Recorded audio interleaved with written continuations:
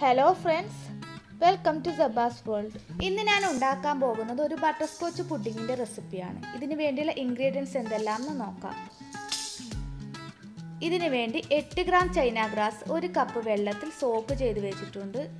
പിന്നെ വേണ്ടത് അര ലിറ്റർ പാൽ മുക്കാൽ കപ്പ് പഞ്ചസാര കാൽ കപ്പ് മിൽക്ക് മെയ്ഡ് ബട്ടർ അമ്പത് ഗ്രാം അര ടീസ്പൂൺ വാനില എസൻസ് എന്നിവയാണ്.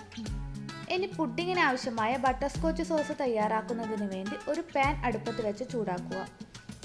പാൻ ഒന്ന് ചൂടായി വരുമ്പോൾ ഇതിലേക്ക് മുക്കാൽ കപ്പ് പഞ്ചസാരയും മൂന്ന് ടേബിൾ സ്പൂൺ വെള്ളവും ഒഴിച്ച് പഞ്ചസാര ഒന്ന് മെൽറ്റ് ആകുന്നത് വരെ വെയിറ്റ് ചെയ്യാം.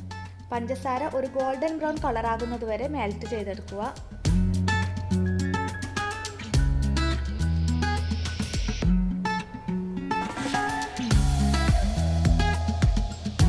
ഇപ്പോൾ പഞ്ചസാര ഒന്ന് മെൽറ്റായി വന്നിട്ടുണ്ട്. ഇനി ഇതിലേക്ക് അമ്പത് ഗ്രാം ബട്ടർ ചേർത്ത് കൊടുത്ത് ബട്ടർ നന്നായി മെൽറ്റാകുന്നത് വരെ മിക്സ് ചെയ്ത് കൊടുക്കുക.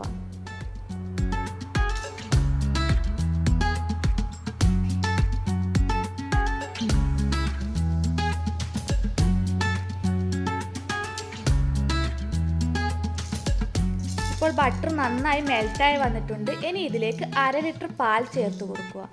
പാൽ ചേർത്ത് കൊടുക്കുമ്പോൾ ബട്ടർ സ്കോച്ച് സോസ് ഒന്ന് കട്ട പിടിക്കുന്നതായി കാണാം. പാൽ ചൂടാവുന്നതിനോടൊപ്പം തന്നെ സോസ് നന്നായി മെൽട്ടായി വരുന്നതാണ്.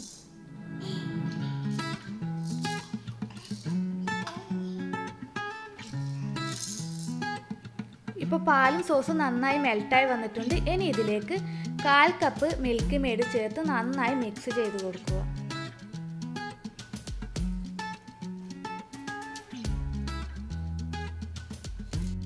ഇനി നമുക്ക് പാൽ തിളച്ച് വരുന്ന സമയം കൊണ്ട് ഒന്ന് ചൈന ഗ്രാസ് മെൽറ്റ് ചെയ്തെടുക്കാം. അതിന് വേണ്ടി ഒരു പാത്രം അടുപ്പത്ത് വെച്ച് ചൈന ഗ്രാസ് ഇട്ട് കൊടുക്കുക. ചൈന ഗ്രാസ് ഒന്ന് മെൽറ്റ് ആവുന്നത് വരെ വെയിറ്റ് ചെയ്യാം.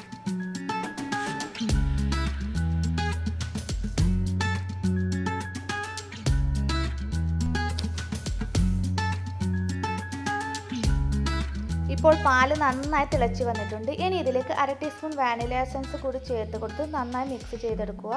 അതിനുശേഷം മെൽറ്റ് ചെയ്ത് വെച്ചിരിക്കുന്ന ചൈന ഗ്രാസ് കൂടി ഇതിലേക്ക് ആഡ് ചെയ്ത് നന്നായി മിക്സ് ചെയ്തെടുക്കുക. ചൈന ഗ്രാസ് മിക്സ് ചെയ്ത് രണ്ട് മൂന്ന് മിനിറ്റ് നന്നായി തിളച്ചതിന് ശേഷം ഗ്യാസ് ഓഫ് ചെയ്ത് ഈ മിക്സ് ഒന്ന് തണുക്കാൻ വേണ്ടി വെയിറ്റ് ചെയ്യുക.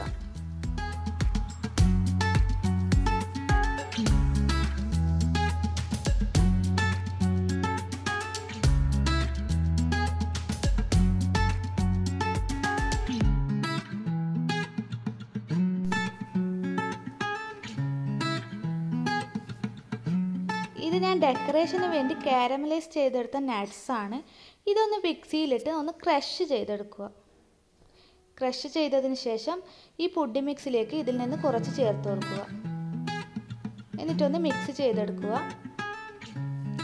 പുഡി മിക്സ് ഒന്ന് തണുത്ത് വന്നതിന് ശേഷം ഒരു പുഡിംഗ് ബൗളിലേക്ക് മാറ്റി രണ്ട് മൂന്നാൽ മണിക്കൂർ ഒന്ന് ഫ്രിഡ്ജിൽ വെച്ച് സെറ്റ് ചെയ്തെടുക്കുക.